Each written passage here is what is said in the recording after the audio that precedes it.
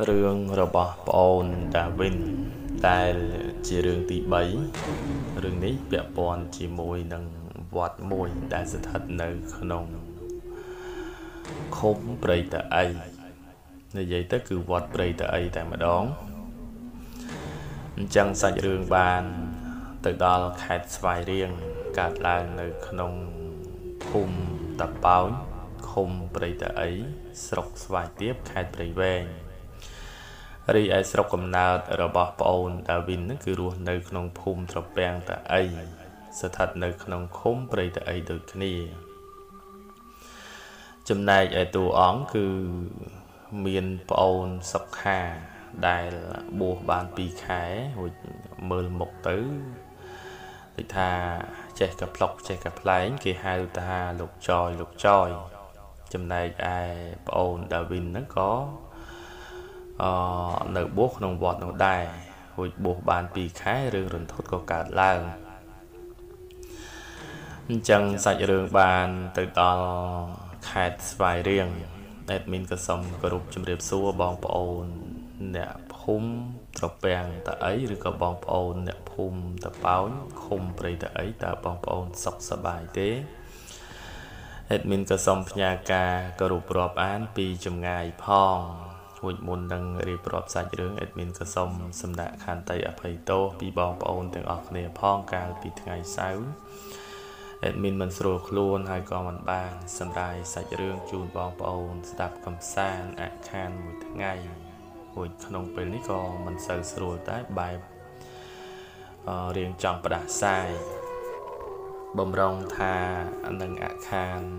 មួយថ្ងៃទៀតតែមើលទៅនឹកបងប្អូនពេកក៏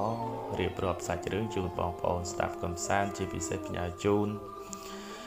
បងប្អូនដែលកំពុងតែធ្វើការបងប្អូនធ្វើការរៀងរាល់ថ្ងៃមិនថាធ្វើការយប់មិនថាធ្វើការថ្ងៃទេឲ្យទៅថាចូលដល់ម៉ោងធ្វើការម៉ោងវាដើរយូរវាដើរដូចថា1ម៉ោង1ម៉ោងវាប្រើរយៈពេលយូរអញ្ចឹងណា អញ្ចឹងបើតាមកទៅទោះបីជាបងប្អូន សម្រាប់ទោះបីជាបងប្អូនធ្វើការក៏ក្នុង1ម៉ោង60នាទីដូចគ្នាតែ បងប្អូនអាចនឹងស្ដាប់សាច់រឿង admin អញ្ចឹងទៅជាតែព្យាយាមតាមដានផ្លិចម៉ោងអញ្ចឹងទៅវាឆាប់ដល់ម៉ោងនឹងអាចបាល់ចេញពីផ្ទះឬក៏បានចេញទៅពិសាបាយ អញ្ចឹងរៀបរាប់ប៉ុណ្ណឹងបានហើយនាំអារម្មណ៍បងប្អូនមកស្ដាប់សាច់រឿងមួយ ពាក់ព័ន្ធជាមួយនឹងវត្តព្រៃតអីតែវត្តនោះបងអូនបញ្ជាក់ហើយឬក៏ក្នុងសាច់រឿងនេះថាមិនប៉ះពាល់ដល់វត្តទេគ្រាន់តែកាលនោះបងអូនបួសបាន2ខែ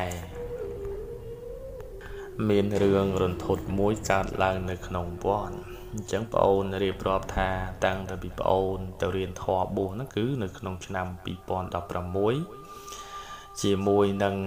លោកសុខាឬក៏ហៅថាលោកចយលោកចយអញ្ចឹងណាកាលនៅជាកូនសិស្សដូចគ្នារៀនធម៌ជាមួយគ្នាដេកហ្នឹងក៏ដេកជាមួយគ្នា លោកប្រើទៅឯណាហ្នឹងក៏ទៅទាំងពីរទាំងពីរនាក់ទៅទាំងយប់ទៅទាំងថ្ងៃពេលប្រលប់ពេលទៀបភ្លឺពេលថ្ងៃត្រង់ពេលរសៀល ឲ្យតែប្រសង់លោកប្រើទៅឯនេះទៅឯនោះប្អូនតែងតែទៅរួចលោកប្រើនោះមិនអត់ដូចថាឈ្នួលទេលោកតែងតែឲ្យដូចថាទៅទិញនេះទិញនោះប្រគេនលោកអញ្ចឹងទៅសល់លុយអាប់មកអញ្ចឹងលោកក៏ចែកឲ្យប្អូនហ្នឹងបានចាយបានវាយបានទិញនំចំណីហូបនៅក្នុងវត្តដូចពេលព្រឹកដើរបិណ្ឌជាមួយលោកអញ្ចឹងទៅ លោកក៏បានដូចថាឲ្យជាលុយជាកាក់បានចាយហូចដល់ទៅពេលលោកឆាន់ហើយនោះក៏បានទុកមហូបសម្រាប់ពេលល្ងាចកុំឲ្យថាអឺនៅក្នុងវត្តពិបាកក្នុងការដាំបាយធ្វើមហូបអញ្ចឹងវេលានោះបងអូននៅរៀនធម៌បួបានរយៈពេល2ទៅ3ខែម្នាក់ហើយមើលទៅថាចេះអច្ចយៈថា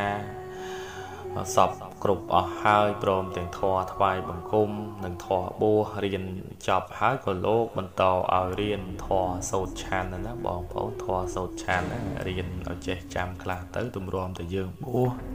បសុំអភ័យទោសទម្រាំតែយើងបួសនឹងយើងអាចមានធរក្រាន់សោតនឹងគេអញ្ចឹងទៅវេលានោះប្អូនចយនិងប្អូនដាវីននេះក៏នាំគ្នារៀនធរសោតឆាន តាំងពីសព្ពីទយោយថាវារៀនហាយហ្នឹងរៀនចប់បានល្មមហើយក៏ម្ដាយឪពុករបស់ប្អូនហ្នឹងបានទទួលដំណឹងពីបច្ចៅអធិការថាឲ្យម្ដាយឪពុករបស់ប្អូននោះទៅធ្វើ ច្បាប់បួសពីព្រោះអីកូននោះរៀនចេះចាំអស់ហើយធွာបួសធွာសូត្រឆាន់ខ្លះខ្លះធွာសងបាយនោះក៏ចប់សពគ្រប់អស់ហើយដែរ អញ្ចឹងវេលានោះម្ដាយឪពុករបស់ប្អូននោះក៏ត្រេកអរពួកគាត់នឹងក៏នាំគ្នាទៅធ្វើច្បាប់បួសរួចហើយក៏ដាក់ថ្ងៃកំណត់ឲ្យប្អូននឹងបានបួសនៅក្នុងវត្តព្រៃតអីអញ្ចឹងវេលានោះប្អូនរៀបរាប់ថាដឹងថ្ងៃកំណត់ថានៅប្រហែលជា10ថ្ងៃទៀតបួសប្រសងក្នុងវត្តហ្នឹងក៏ប្រាប់ឲ្យប្អូនទាំងពីរហ្នឹងថា មិនចាំបាច់ហូបបាយល្ងាចទៀតទេរៀនអត់ឲ្យហើយទៅពីព្រោះអីដល់បួសហើយលែងបានឆាន់បាយល្ងាចហើយអញ្ចឹងខណៈនោះប្អូនសុខាឬក៏ប្អូនចយហ្នឹងហើយនឹងប្អូនវិនព្យាយាមអត់ហូបបាយល្ងាចដូចលោកដែរអញ្ចឹងណាបងប្អូនដោយប្អូនរៀបរាប់ថាពីដំបងដំបងទ្រាំស្ទើរតែមិនបានហេវញ័រដៃញ័រជើងរួចបានពី3ថ្ងៃទៅក៏ទៅជាទម្លាប់ រួចទម្លាប់រយៈពេល10ថ្ងៃហ្នឹងប្អូនហ្នឹងក៏បានដល់ថ្ងៃបួសរួចវេលាដល់ថ្ងៃបួសនោះលោកលោកក៏លោកមិនបារម្ភអីដែរពីព្រោះអីថាប្អូនរៀនអត់បាយល្ងាចតាំងតែពីប្អូននៅបសក់ឯនោះរួចចាស់ចាស់ចេះតែសួរថានិគុណហេវបាយល្ងាចអត់ប្អូននោះក៏ឆ្លើយតបទៅវិញថាអត់អីទេអាត្មាអត់តាំងពីមុនបួស10ថ្ងៃណោះអញ្ចឹងញោមញាតហ្នឹងក៏សរសើរដែរថា ត្រៀមអត់ឬក៏ព្យាយាមអត់ទុកឲ្យហើយអញ្ចឹងពេលបួសมันពិបាកទេរួចវេលាដោះប្អូនរៀបរាប់ថាបួសបានរយៈពេល2 3ថ្ងៃញោមញោមតែងតែមកលេងតែងតែប្រោកប្រាជាមួយនឹងព្រះចៅអធិការក៏ដូចជាប្រសង់ក្នុងវត្ត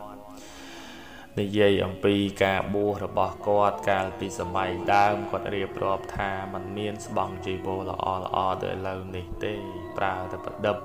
កើតលមាស់កើតចៃណៃនៃពេញទឹកពេញដីអញ្ចឹងណាបងប្អូនរួចចលក់លាក់ណាបងប្អូនចំនួន admin នឹងមិនតាន់ទេតែបើអ៊ំអ៊ំចំនួនមុនឬក៏លោកយាយលោកតាចំនួនមុនគាត់តាន់អញ្ចឹងទៅ អញ្ចឹងប្អូនបួសបានរយៈពេល2 3ថ្ងៃចាស់ចាស់នោះក៏លែងមកទៅរួចពួកប្អូននោះក៏ប្រឹងរៀនប្រឹងរៀននៅក្នុងវត្តទន្ទិញធររំពងវត្តរួចដល់តែពេលរឿងរន្ធត់ដែលប្អូនជួបនោះពេលដែលប្អូនបួសបានរយៈពេល2ខែប្អូនរៀបរាប់ថាពេល2ខែនោះមិនដឹងថាយ៉ាងម៉េចទេគ្រាន់តែយប់ឡើងនៅក្នុងកត់ធំនោះ ដូចជាក្តៅស្អុះរសេះរសោះសឹងមិនលក់រៀនធរហ្នឹងក៏មិនសូវមានអារម្មណ៍រៀនទេយប់ដឹងរួចហើយក៏ក៏លេចទៅមើលលោកចយនោះវិញរសេះរសោះសឹងមិនលក់ដែរលោកថាក្តៅស្អុះអញ្ចឹងក៏នាំគ្នាចុះពីកត់ធំហ្នឹងមកដើរលេងក្នុងបរិវេណវត្តណាហូចនៅមុខវិហារហ្នឹងពុំមានវាល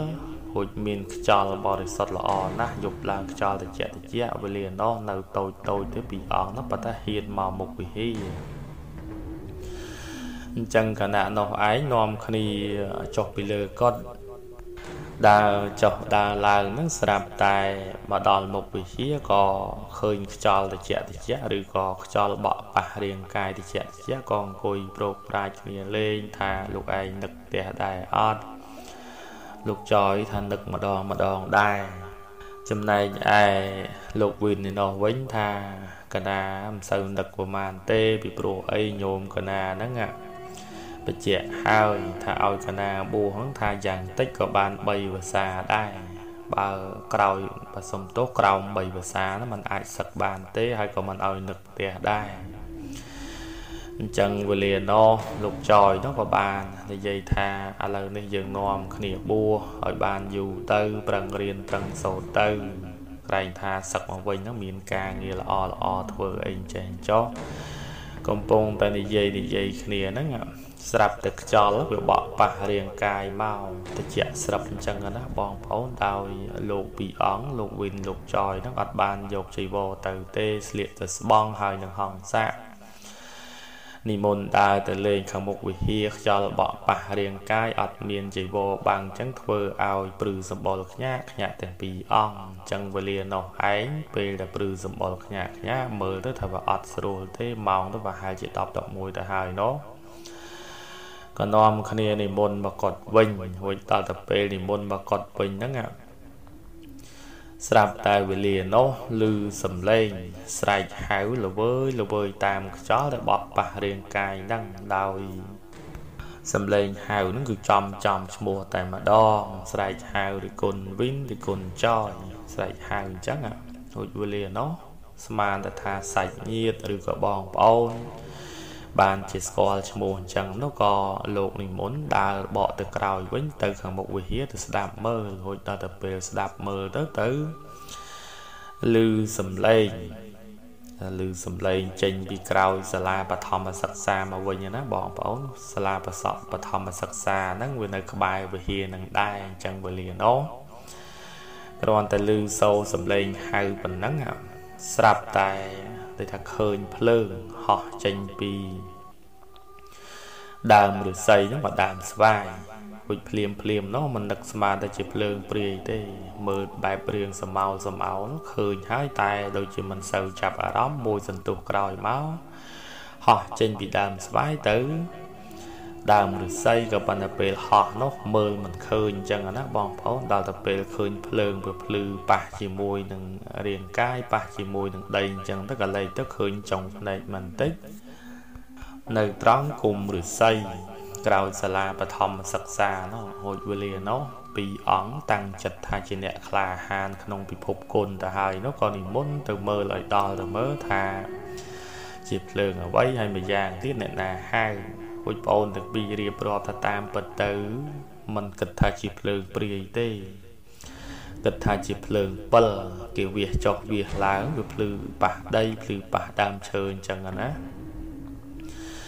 អញ្ចឹងគណៈនោះឯងអ្នកក្លាហានទាំងពីរអង្គឬក៏លោកក្លាហានទាំងពីរអង្គនិមន្តទៅក្រោយសាលាបឋមសិក្សាតែមិនតាន់ទៅដល់ផងមើលទៅវាឃើញដើមឫស្សី ឬក៏គុំឫស្សីក្បែររបងសាលាអវេលានោះឯងគ្រាន់តែថាមើលទៅលើដើមឫស្សីហ្នឹងឃើញ មិនមែនស្លៀកសពាក់សទេប្អូនបញ្ជាក់ថាស្លៀកពាក់ខោអាវឈុតហួយខោអាវឈុតហ្នឹងឈុតដូចថាសម្បុរមនុស្សចាស់ណាបងប្អូនមិនមែនសម្បុរក្មេងៗឬក៏ មិនមែនពណ៌សំជាមួយនឹងក្មេងក្មេងកមុំកមុំអីទេបងអូនរៀបរាប់ថាសម្បុរឬក៏ពណ៌ហ្នឹងសំនឹងមនុស្សចាស់ឈុតហ្នឹងបែបមនុស្សចំណាស់គាត់ស្លៀកវេលានោះបងអូនមើលទៅឃើញទាំងពីរនាក់នៅលើចុងឫស្សីកំពុងតែអង្គុយដៃម្ខាង3កូនដៃម្ខាងទៀតតោង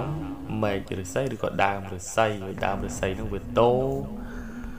មកចិត្តដល់ដីអញ្ចឹងណាបងប្អូនរួចវេលានោះលោកវិនលោកចយដោយពីរអង្គមិនដឹកស្មានថាជាខ្មោចទេស្មានថា មានអ្នកណាគេទៅលោលេងឬក៏អ្នកភូមិគាត់អាចនឹងសតិមិនគ្រប់ឯនាំកូនឡើងលើដើមឫស្សីលើចុងឫស្សីអញ្ចឹងណាបងប្អូនខណៈនោះមូលហេតុដែលប្អូនមិនគិតថាជាខ្មោចលោដោយសារតែ ស្លៀកពាក់ជាឈុតបើសិនជាស្លៀកសពាក់សប្រកាសណាស់បងអូនមើលទៅដឹងថាខ្មោចអញ្ចឹងណាតែនេះមើលមិនឃើញមុខគេទេគេបែរមុខចេញរួចឃើញខោអាវឈុតចេះតែនាំគ្នាសម្លឹងមើលថាជាមនុស្សឈួតឬក៏មនុស្សមកពីណាអញ្ចឹងណាបងប្អូនវេលានោះឯងខែភ្លឺព្រឿងព្រឿង ស្រាប់តែអ្នកមីងម្នាក់ហ្នឹងអង្គុយលើគុំឫស្សីលើដើមឫស្សីហ្នឹងងាកមកមើលប្អូនទាំងពីរប្អូនរៀបរាប់ថាមេឃមិនសូវភ្លឺប្រមាណទេតែមុខរបស់គាត់នេះបែរជាឲ្យប្អូនទាំងពីរមើលឃើញច្បាស់ភ្នែកធំធំភ្នែកហ្នឹងមានឈាមហូរណាបងប្អូនឈាមហូរហ្នឹងមិនមែនថាហូរថ្មីថ្មីហូរស្រស់ស្រស់ទេហូររយៈពេលយូរ មើលទៅវាកកអស់ហើយរីឯមាត់ហ្នឹងក៏មានឈាមហូរមុខស្លេកស្លាំងរវងភ្នែកខ្មៅខ្មៅសក់ក៏ត្រើងរើងដៃម្ខាង3កូនដៃម្ខាងទៀតតោងដើមឫស្សីមើលមកប្អូនទាំងពីរវេលានោះឯងមើលទៅដឹងថាជាខ្មោចហើយ រាប់1 2 3ក្បិនមិនតាន់ទាំងចងរួចហើយផងនោះក៏រត់សម្ដៅចេញពី ក្បែរសាលាបឋមឆ្លងកាត់មុខវិហារបង្ហោះមកុដធំវិញខណៈនោះឯងមិនហ៊ានទេបងប្អូនណាអើយមិនហ៊ានយ៉ាងម៉េចថាមិនហ៊ានសឹងណាពីរអង្គហ្នឹងក្រែមួយម្នាក់ដល់ទៅពេលខ្មោចលងហើយសឹងក្រែមួយពីរនាក់ សឹងទាំងភ័យទាំងខ្លាចសឹងអត់លក់ទេដល់វេលាម៉ោង4ប្រសងផ្សេងនោះទុំស្គរឡើងថ្វាយបង្គំណាទុំស្គរម៉ោង4ទៀបភ្លឺហើយក៏វាយអាកាំងឡើងថ្វាយបង្គំចម្រើនអជាយថាសងបាយពុទ្ធបរិស័ទអញ្ចឹងវេលានោះប្អូនរៀបរាប់ថា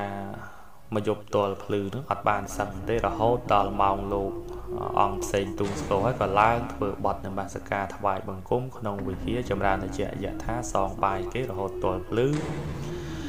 ភ្លឺឡើងនេះប្អូនរៀបរាប់ថាអង្គុយងោកអង្គុយងក់ពួយលោកលោកក្នុងវត្តនោះសួរថាមានរឿងអីបានជាអង្គុយងោកងក់វេលានោះប្អូនមិនតាន់ហ៊ានប្រាប់លោកផ្សេងទេដោយខ្លាចលោកតា លោកស្ដីបន្ទោសអញ្ចឹងណាយប់ឡើងមកនាំគ្នាសឹងបែរជាទៅយកខ្យល់អាកាសមកវិហារ អញ្ចឹងវេលានោះរំលងបានប្រហែលជាប្រហែលថ្ងៃប្អូននោះក៏បានរៀបរាប់សាច់រឿងប្រាប់ទៅភិក្ខុក្នុងវត្តក៏ដូចជាលោកផ្សេងផ្សេងក៏ប៉ុន្តែលោក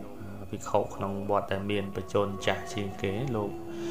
មានសង្ឃិកាថាកុំឲ្យមាត់ខ្ចោខ្ចាយប្រយ័ត្នលោកផ្សេងផ្សេងនឹងខ្លាចហើយកន្លែងហ្នឹងវាមានមែនមានព្រាយនៅត្រង់ដើមស្វាយនៅត្រង់ដើម ឫស្សីក្បែរសាលាបឋមសិក្សាដោយលោកពីមុនពីមុនលោកតែងតែឃើញអញ្ចឹងណាហើយលោកក៏បានណែនាំថាយុបលោកកុំទៅកន្លែងហ្នឹងរៀនរៀនទៅលើកុដនៅក្នុងបរិវេណមុខកត់មុខសាលាឆានហ្នឹងទៅ បានហើយអញ្ចឹងបងអូនរៀបរាប់ថាបងអូនមិនដែលហ៊ានទៅទៀតទេហើយក៏មិនដែលឃើញទៀតដែរអញ្ចឹងសាច់រឿងរបស់ប្អូនដាវីន ដែល admin រៀបរាប់មកប៉ុណ្ណេះបើសិនជាមានការលើសលួខ្វះចន្លោះត្រង់ណាក៏សូមប្អូនដាវីនរួមទាំងបងប្អូនលោកអ្នកស្ដាប់ទាំងអស់គ្នាខន្តីអភ័យទោសដល់ខ្ញុំបាទផងជាចុងក្រោយសូមអរគុណនិងសូមជម្រាបលា